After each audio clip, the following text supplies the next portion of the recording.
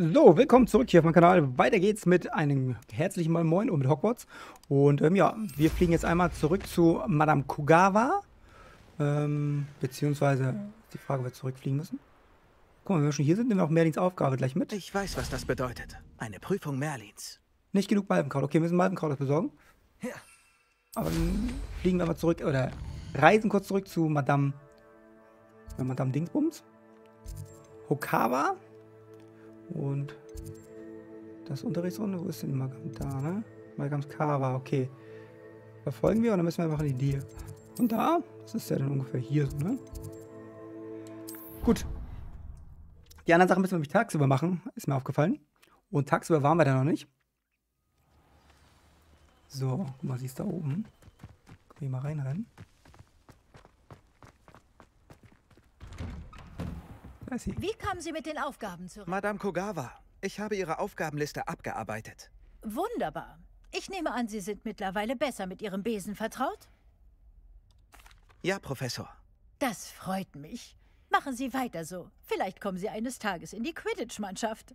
Falls Black Quidditch jemals wieder erlaubt. Nun, da diese Aufgaben erledigt sind, beginnen wir. Glatius, Jos. achten Sie auf Ihren Zauberstab.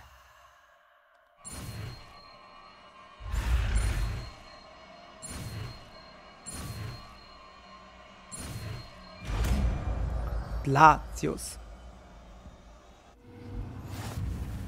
Sehr gut. Sie sollten Ihren neuen Zauberspruch hier in meinem Büro üben, ehe Sie ihn auf die Welt loslassen. Machen wir. Okay. Ähm, müssen wir einmal Latius, äh, Glasius. Glasius, Glasius. Ah, da oben ist er. Okay. Na bitte! Sie lernen schnell. Schön vereist. Sehr gerne, Madame Kogawa. Wunderbare Neuigkeiten, dass Sie den Lehrkörper von Hogwarts als neuen Programm. Ich wage zu behaupten, dass unsere gemeinsame Arbeit in Hogwarts weniger erfolgreich sein wird als unsere Zeit an Hafen von Yokohama. Aber man weiß ja nie. Ich freue mich darauf, Sie bald wiedersehen. Sollten Sie in der Zwischenzeit Fragen haben, zögern Sie bitte nicht, eine Leute zu schicken. Herzliche Grüße, Mathilda Weasley. Okay. Gut, wir haben aber noch mehr Aufgaben, nicht nur das. Denn wir können noch ein paar andere Sachen abgeben. Dafür müssen wir natürlich tagsüber hin. Aber das kann man ja trotzdem machen. Und zwar diese hier. Den besuchen wir jetzt. Karte gucken. Da. Ja, das ist direkt ein Reisepunkt. Da reisen wir direkt hin. Dann machen wir schon mal den Kräuterkunde-Unterricht am Tag. Hallo, wie schön Sie zu sehen. Gerne. Du kannst die Zeit beschleunigen, indem du die Karte öffnest und R3 drückst. Machen wir das direkt mal.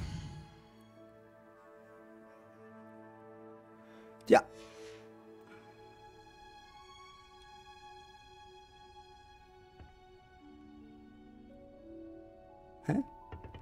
Ist ja jetzt nicht Tag geworden, wie ich sehe, ne? Oder bin ich jetzt verkehrt? Huch.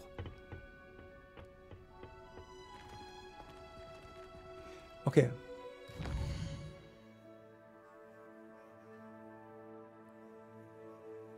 Wart ihr hier um die Zeit von Tag, vom Tag bis zur Nacht oder von der Nacht bis ins... Ja. Ich denke, Sie sind Ah, bereit okay. für Arresto Momentum, Verlangsamungszauber. Damit frieren Sie Objekte oder Personen in der Luft ein. Erledigen Okay. Sie einfach.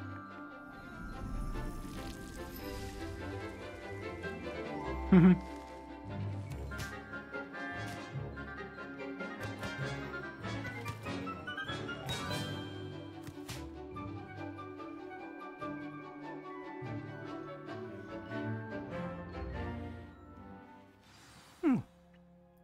sie denn? Wunderbar, dass wir uns wiedersehen. So.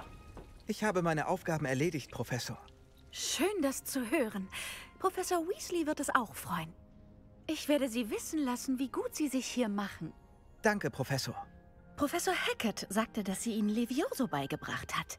Nun sollten Sie für einen fortgeschrittenen Schwebezauber bereit sein. Wingardium Leviosa erfordert etwas Konzentration und eine schöne, anmutige Stabbewegung. Mal sehen, wie Sie sich anstellen. Bin ich auch gespannt. Bei korrekter Ausführung sollten Sie in der Lage sein, Felsen zu heben, als wären es Zweige der Sumpfschafgarbe. Das sah auch gut aus. Zumindest für meine Verhältnisse. Professor Garlick, hätten Sie einen Moment Zeit? Die Pflanzen ruhen, also ist jetzt ein guter Zeitpunkt. Ah, okay. Weshalb unterrichten Sie Ich wollte nur fragen, was Sie dazu bewogen hat, Kräuterkunde zu lehren.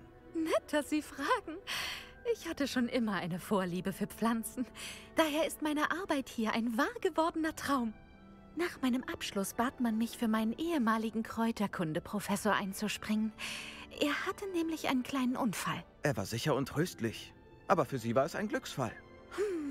Nun, er hat sich nie wirklich um die Pflanzen gekümmert. Das konnten sie spüren. Sie wären überrascht, wie scharfsinnig eine Pflanze sein kann. Jedenfalls begann der Ärger, als er eines Tages einen Wiggenbaum anschnitt. Zu seinem Pech verbarg sich in den Blättern ein Bowtruckle. Sie erinnern sich sicher an die wunderbaren Geschöpfe, die einem Zweig ähneln. Ja. Der kleine Kerl stach dem Professor ziemlich heftig in die Augen. Das war sicher schrecklich. Für den Professor vermutlich auch. Und da haben Sie als Professorin für Kräuterkunde übernommen? Nicht ganz. Nach drei Wochen im St. Mungo-Hospital erlangte er ein klein wenig Augenlicht zurück. Er bestand darauf, ins Gewächshaus zurückzukehren. Innerhalb einer Woche hat er, angeblich aus Versehen, einen chinesischen Kaukohl getreten. Und schwupps war er wieder im St. Mungo. Wie grauenhaft. Was für eine Pechsträhne. Hm. Er tat mir natürlich leid, aber ich wage zu behaupten, dass ich mehr Mitleid mit dem Kohl hatte. Nach seiner Entlassung hatte sich seine Gleichgültigkeit gegenüber Pflanzen in Verachtung verwandelt. Er verlor das bisschen Geduld, das er noch hatte, mit einer besonders temperamentvollen Venemosa Tentacula und, tja, die daraus resultierende Beurlaubung dauert bis heute an. Ich bin froh, dass alles so gekommen Ich ist. bin froh, dass alles so gekommen ist. Und Sie jetzt Kräuterkunde unterrichten. Sehr lieb von Ihnen. Ich liebe diese Gärten und helfe meinen Schülern gern beim Wachsen. Es war schön, mit Ihnen zu sprechen. Einen schönen Tag noch. Oh, und nicht vergessen, seien Sie nett zu Wiggenbäumen. So, abgeschlossen, die Scheiße. so, wir wollen das Ding mal testen hier. Also ich zumindest. Ihr dürft zugucken. Und ähm, das ist der hier. Wingardium Leviosa. Ah, warte mal. Ah, okay, warte mal. Jetzt kann ich den... Kann ich den drehen und nach vorne und hinten schieben. Das ist natürlich gut. Kann ich auch hochbekommen irgendwie? Jo. Okay, das ist natürlich cool. Cooler Zauber. Gut. Aber das war noch längst nicht alles, denn wir haben ja noch ein paar Sachen fertig gemacht. Über in der Nähe der Zinnen das Fliegen. Okay. Ballons kaputt machen wahrscheinlich. Über in der Nähe des Cambridge-Turms das Fliegen. Das wollen wir jetzt nicht. Aber ich habe doch noch irgendwas fertig gehabt hier, ne? Wahrsagen, Berichte am Tag besuchen. Das wollte ich ja machen. Äh, warte mal. Genau. So, Wahrsagen am Tag ist da. Äh, hier hin. Ja, jetzt grasen wir kurz mal ein bisschen was ab, bevor wir mit der Geschichte gleich weitermachen, mit der Hauptgeschichte. Aber ein bisschen stärker müssen wir werden und ein paar bessere Sprüche müssen wir haben. ja immer, Reisen erweitert den Horizont.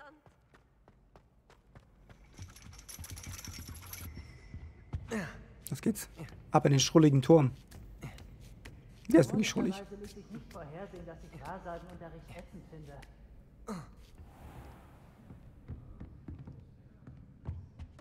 ließ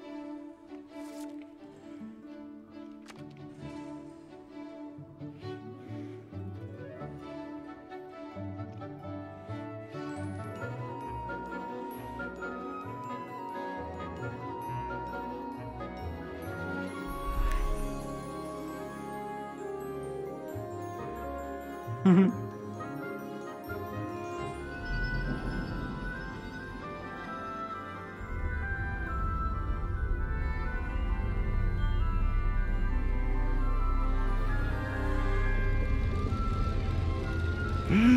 Grimm.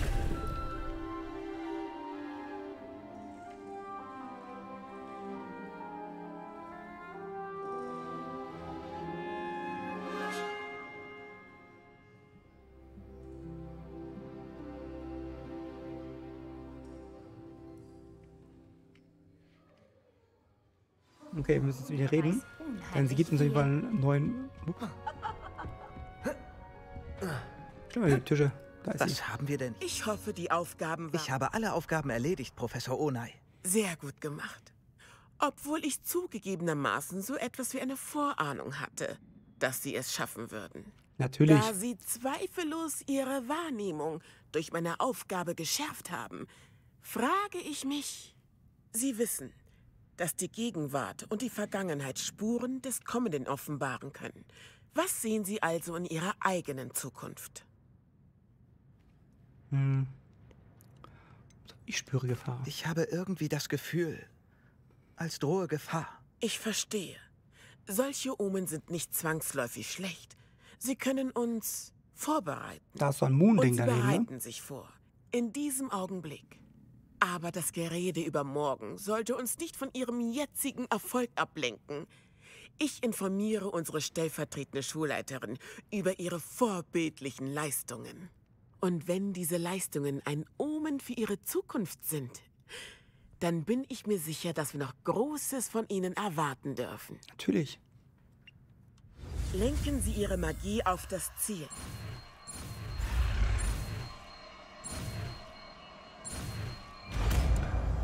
So. Neun Sie Zauberfleisch. haben den Dreh raus.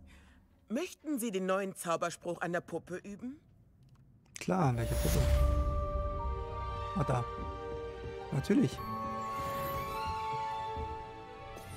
So. Defendo! Wow. Sie haben den Dreh raus. Ich wusste es. Ziemlich cool. So, warte mal, habe ich eigentlich ein neu, neuen Talent bekommen? Ein neues Talent bekommen?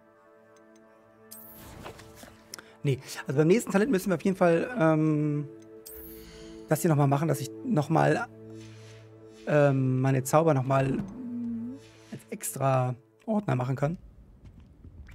Weil so mit zu wechseln, das dauert irgendwann auch im Link. Und es wäre auch besser, wenn man von jeder Art Zauber etwas hätte. mal Abenteuertour? Damit man zum Beispiel die roten, die lilanen, die gelben Zauber auf einmal hat, wenn man gegen Gegner kämpft, die sich schützen wollen. Dann macht das schon Sinn. So, ich ob wir noch trinken. Habe ich noch irgendwas hier?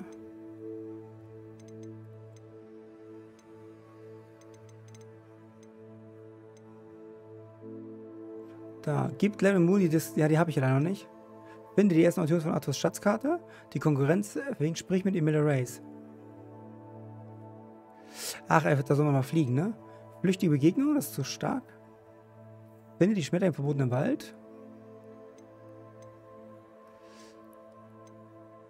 Die Pulso, den haben wir. Ich würde sagen, wir machen jetzt Urkotzhelm. Urkotzhelm. Was immer das ist. So, wir müssen uns treffen mit ihm. Ähm, ich gucke mal kurz bei der Ausrüstung, ob ich noch irgendwas machen kann. Das Ding könnten wir nochmal. Müssen wir in den Raum der Wünsche nochmal. Ist die Frage, ob wir das schnell nochmal machen, wenn wir schon hier sind. Lass uns doch mal schnell in den Raum der Wünsche eiern.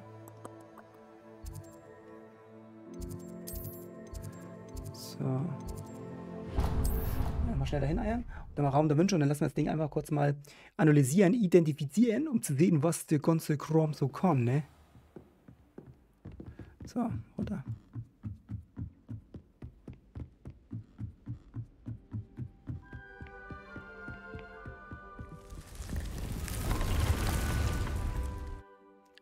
So, unser Hauself ist auch schon da drin.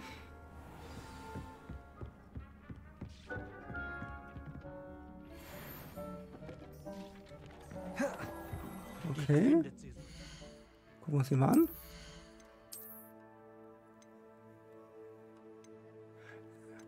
Versteht ihr? Erhöhter Schaden mit Defen Defendo. Oh, das ist natürlich cool. Dann nehmen wir den doch mal lieber. Und dann müssen wir ja, Ut Utkozhelm. Utkoz. Weiß nicht, wie das heißt. So, wo ist dann der da drüben? Sieht da hin?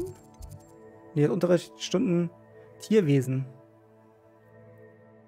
Oh, die können wir auch als erstes machen, ne? Oder? Wäre auch nicht schlecht.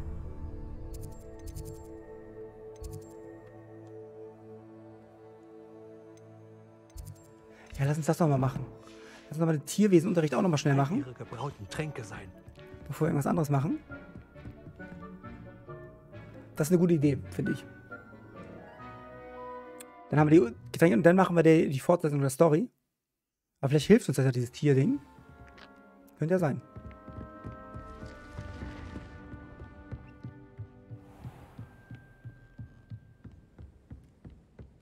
Das ist auch ein Rätsel hier mit den Dingern, ne? Was genau ist, wissen wir nicht.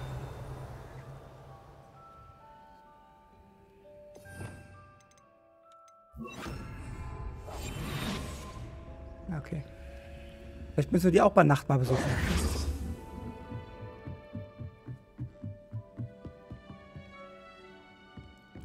Hier, noch so ein Rätsel, das können wir auch schnell lösen. Also, ähm, okay. Das ergibt 5 und das oben ist 0. Das heißt, das Fragezeichen muss eine 2 sein. 0, 0, dann müsste dieses, das nicht. Das Tier sein, genau. Und das andere gibt 12, 4. Und das Einhorn ist ja eine 1, das sind 5. Das heißt, da müssen wir die 7 haben. Die 7 bei den, bei den, da, die 7 muss hier hin. Und die 7 ist 1, 2, 3, 4, 5, 6, 7. Das ist dieser Oktopus. Da, kommen auch hier rein. So. Ja, easy zu. Erstmal muss man ein bisschen, ein bisschen Mathematik und dann ist man da drin. Das ist eigentlich total easy. Ähm, falls ihr das erste Mal guckt, kann ich das kurz erklären. Die Tierkreis, äh, die Tiere da, die äh, sind Zahlen. Hier unten, links unten, was immer das sein soll, ob es eine Eule ist, ich weiß nicht, ist die 1, das Einhorn ist, äh, ist die 0, Entschuldigung. Das Einhorn ist die 1, das Tier da drüber die 2, dann kommt der dreiköpfige Drache für die 3. Das andere Tier da oben ist die 4, dann fünfarmiges Viech da oben. Dann eben diese Echse mit 6, ähm, Oktopus mit 7, äh, Spinne mit 8 und unten die Medusa mit 9. Und dann muss man das halt nur ausrechnen, ne? Ist halt ein bisschen, ist eigentlich relativ einfach, deswegen sind das wirklich easy Aufgaben. Aber so richtig coole Sachen findet man da drin auch nicht, ist mir aufgefallen. Aber vielleicht kommt es ja irgendwann.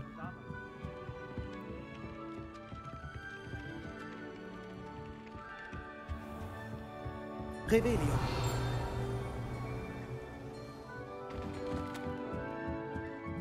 Oh, ist hier drin. Sollen wir kurz reingehen? Hallo, Dann gehen wir hier rein.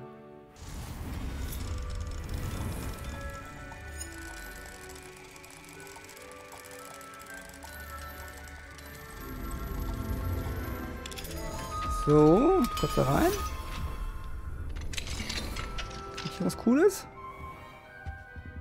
Eine kleine Truhe. Oh, hier sind ein paar Münzen. Hier ist ein Brief. Mögliche Spiele für das Klassenzimmer. Levi Levitationsstunde. Ermutigen Sie die Schüler, Blöcke durch erhöhte Reifen und ähnliches schweben zu lassen. Entwaffnen und Ausweichen. Verbessern Sie Expelliarmus und Reflexe. Ziele auf Zack. Zurück zu den Grundlagen mit Würfelhöhen. Okay. Nicht effizient Gegenstand. Gut, gut, gut. Kann man mal machen. Hier oben gucken, was hier oben ist. Wenn hier oben irgendwas ist. Mhm. Ah, Mist. Das ist ja gemein, Stufe 2. So, wir wollen zum Tierwesenunterricht. Bin gerade davon abgekommen. Das machen wir jetzt schnell. Ja, man verliert sich so ein bisschen im Spiel, das muss ich zugeben. Hoffe, es stört euch nicht allzu sehr. Ah, das müssen wir nachher mal identifizieren, die Sache. Das machen wir jetzt aber nicht. Jetzt gehen wir wirklich zum Tierwesenunterricht. Revelio. So, hier runter.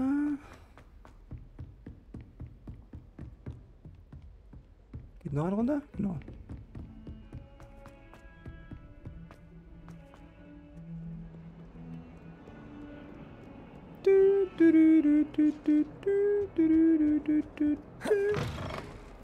So. Jetzt kann man gar nicht so weit vor. Steht doch irgendwie nicht nur 20 Meter oder so. Ja, geht's nicht rein. Ah. Mein Gott, es ist wirklich im Arsch der Welt.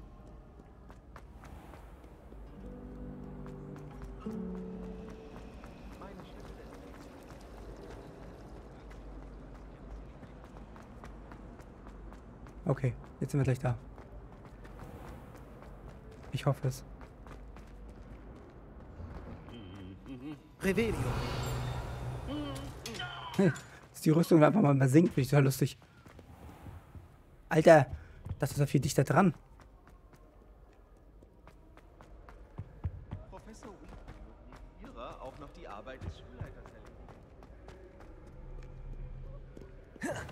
Okay. War doch nicht so dicht dran.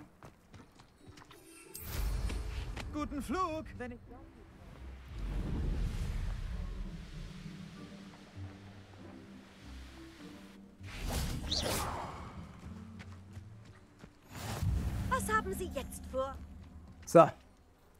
Tierwesenunterricht.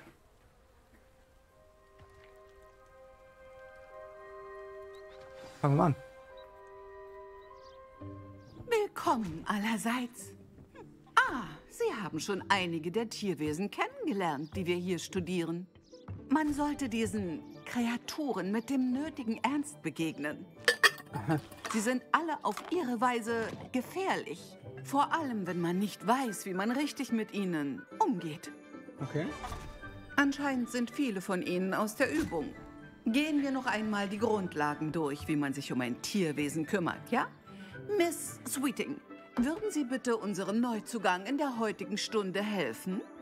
Ja, Professor Howen. Hallo, ich bin Poppy, Poppy Sweeting.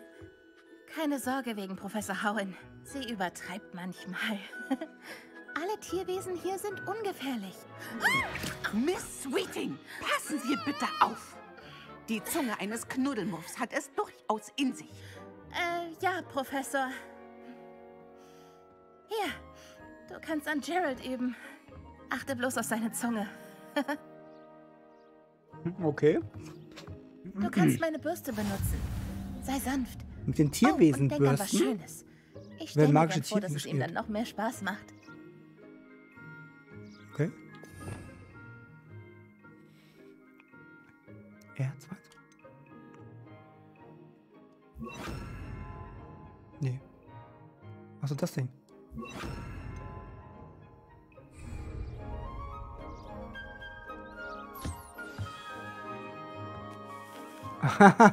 das sieht Schön. Er fühlt sich sicher viel wohler. Ich glaube, er hat Hunger. Würdest du ihm etwas Tierwesenfutter geben? klar.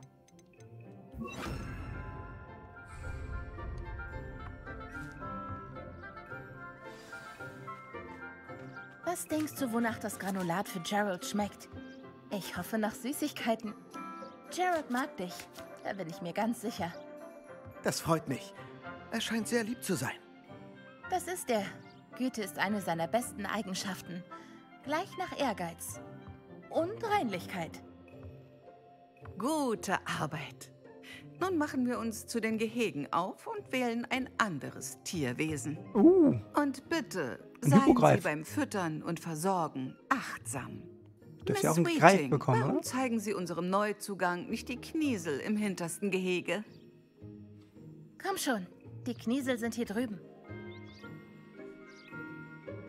Was wie Katzen. Das sind fette Katzen. Ah, Knieselschnurrbarthaare sollten mir ein paar Knuts einbringen. Genug für einen Einkauf beim Honigtopf. Oh oh. Blödes Vieh. Was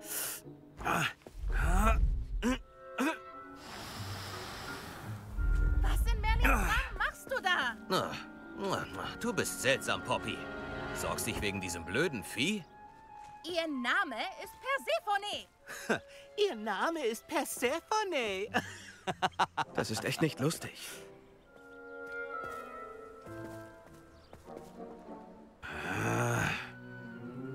Los, komm.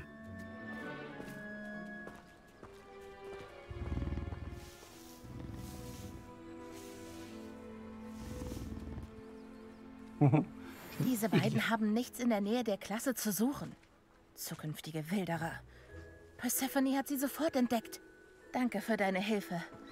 Machen wir weiter. Füttere und bürste die Kniesel so, wie du es bei Gerald getan hast.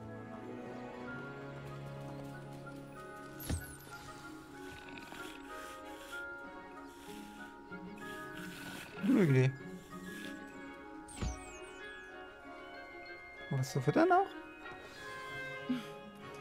Die Kniesel haben dich wirklich gern. Sie erkennen einen guten Menschen. Genau wie ich. Es scheint, unsere Zeit ist abgelaufen. Bitte schließen Sie die Gehege und gehen Sie hinaus. Das sind wir. Nun, wo ist denn unser Neuzugang? Ah, da sind Sie ja. Ich würde Sie gerne sprechen. Sofort? Ich fütter die auch noch mal kurz. Wer ist ein Diddy Call?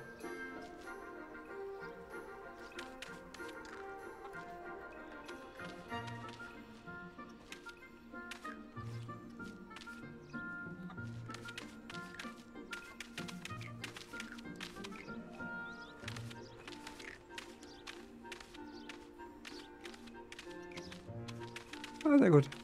Hm. Gut, dann reden wir mit dir. Hallo, Professor. Sie wollten mich sprechen? Ganz recht. Wie war Ihre erste Stunde in Pflege magischer Tierwesen? Wunderbar. Ich glaube, mir wird dieser Unterricht gefallen.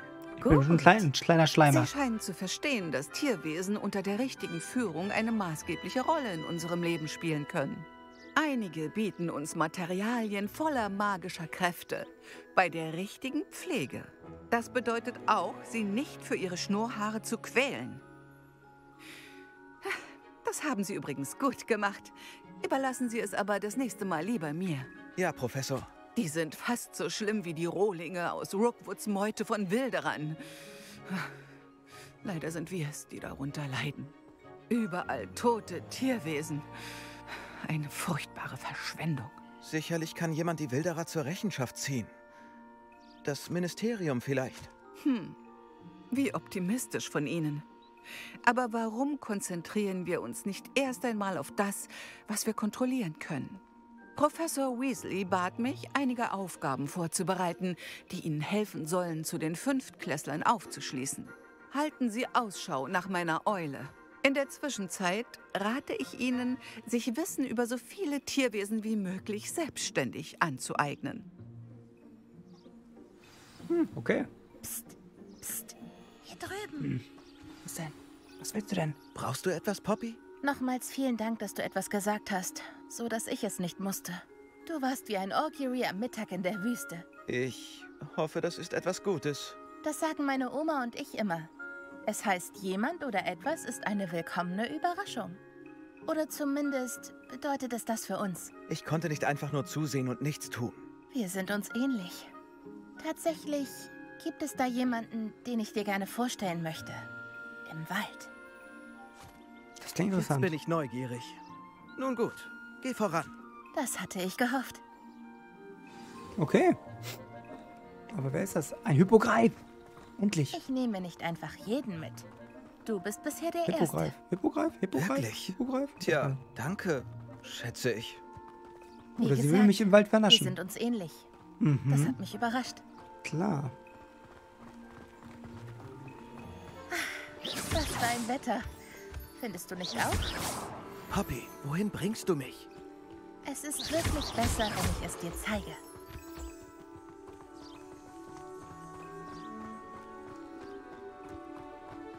Keine Sorge, wir sind fast da. Es ist gleich da vorne.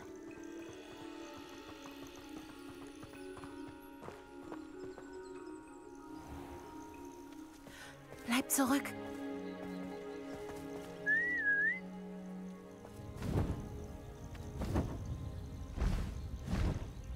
Geil. Endlich.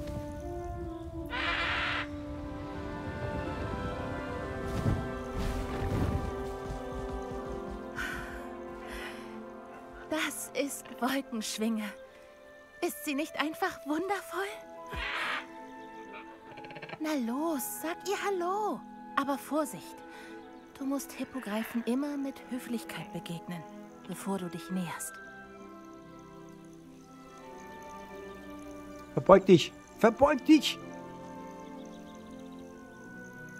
Ja, da kommt es. Verbeugt er sich auch?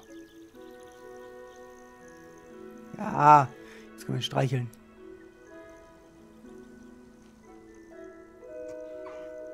Ich wusste es. Ich habe noch nie erlebt, dass Der Bruder von so Seidenschnabel. an jemanden gewöhnt. Du kannst sie gerne füttern und bürsten. Wenn ich Zeit habe, schaue ich nach ihr. Bringe ihr was zum Naschen und erzähle ihr, was im Schloss los ist. Man sieht es ihr nicht an, aber sie ist eine furchtbare Wichtigtuerin.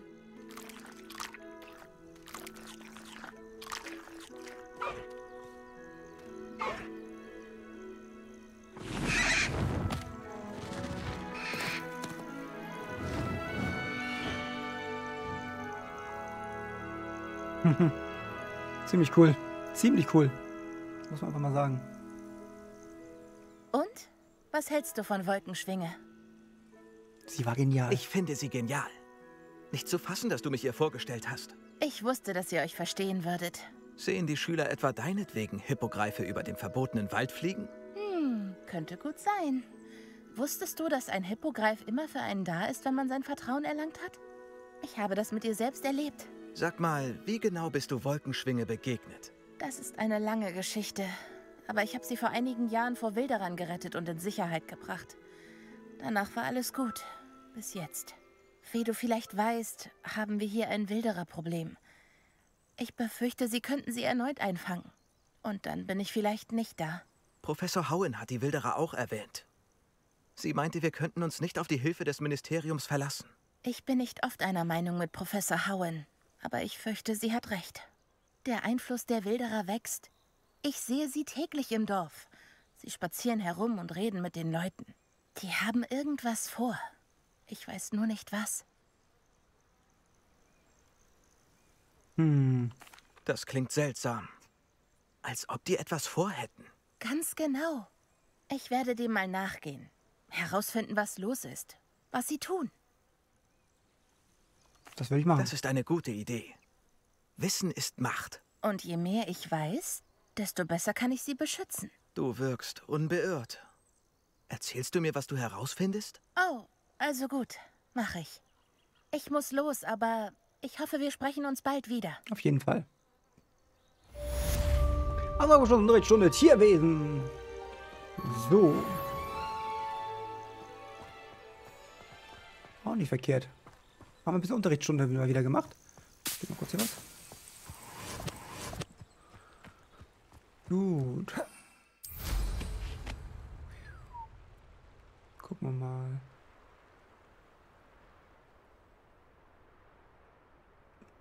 Bin am überlegen, ob wir jetzt noch wirklich die Aufgabe machen müssen oder nicht. Weil ist ja schon ein ist ja schon bestimmt was Größeres, was wir machen, aus, äh, machen müssen mit Urkurzhelm. Aber ich würde die ganz gerne machen, aber ich glaube, die machen wir trotzdem erst beim nächsten Mal. Aber wir können ja schon mal in die Richtung reisen. Was haltet ihr davon?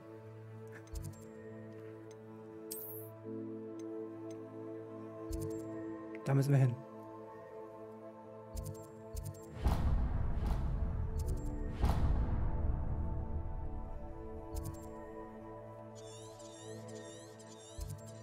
Wir müssen auf jeden Fall hier rein, damit wir da hinkommen. Das ist das Hogsmeade, ne? Da können wir ja auch rein. Warte mal. Jetzt sind wir dichter dran als beim anderen. Einmal Hogsmeade reisen und von da aus dann weiter. Das würde ich sagen. Das macht am meisten Sinn. Manchmal führen alle Wege nach Hogsmeade. So, jetzt müssen wir dahin. Das heißt, dann können wir doch auch Ja. Dahin laufen. Halt. Okay. Da ist er. So, Bereit. ich bin bereit. Wir dürfen keine Zeit verlieren. Gehen wir hinterher. Hm, das ist auch ein... Was ist das für ein Relikt, das ich holen soll? Ein wertvolles Erbstück, bekannt als Örtkotz Helm. Erdkotz. Die Hexe sah sich als Sammlerin und kaufte den Helm als Schmuckstück. Ihr war egal, welchen Schmerz sie den Kobolden zufügte. Kobolde glauben, dass der rechtmäßige Besitzer eines Gegenstands sein Erschaffer ist, nicht sein Käufer. Zauberer sehen die Dinge anders. Ein Wunder, dass Kobolde und Zauberer je zusammenarbeiten konnten. Es gibt unzählige Unterschiede zwischen uns. Ganz offensichtlich. Laufen, okay. Es mag Sie überraschen, aber ich halte diese Unterschiede nicht immer für unüberwindbar. Das ist der Grund, aus dem ich heute mit Ihnen zu diesem Grabmal reise.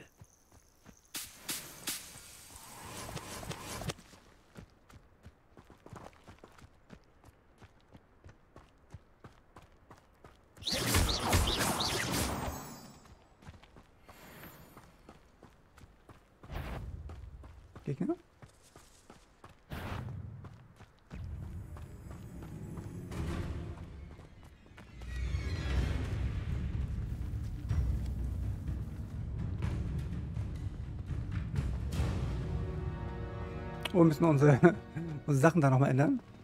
Ah, und hier ist es, das Hexengrab. Ein schrecklicher Ort, nicht wahr? Hallo? Viel Glück bei der Suche nach dem Helm. Ein Zauberstab sollte dabei von Vorteil sein. Haben Sie denn noch Fragen, bevor Sie aufbrechen? Was ist besonders an dem Helm? Was macht diesen Helm denn so besonders? Erdkotts Helm ist ein antikes, geschichtsträchtiges Relikt aus einer Zeit der Einigkeit zwischen den Kobold-Clans. Er inspirierte zu wahrer Größe, jedenfalls bis er nicht mehr unser war. Dann wurde er etwas anderes. Ein Symbol all dessen, was verloren ging, was uns die Zauberer genommen haben. Es zurückzuholen würde den Kobolden viel bedeuten. Und Renrock. Er wäre mir dankbar, wenn ich es zurückgeben würde. Okay. Jetzt ist mir alles klar geworden. Klar. Ich hoffe, dass unser Bündnis Früchte trägt. Nochmals viel Glück. Gut. Ich werde Aber hier sehnsüchtig Ihre Rückkehr erwarten. das machen wir aber nicht heute. Das machen wir beim nächsten Mal. Vielen Dank fürs Zuschauen. Ich hoffe, ihr seid beim nächsten Mal dabei. Und bis dahin. Tschüss.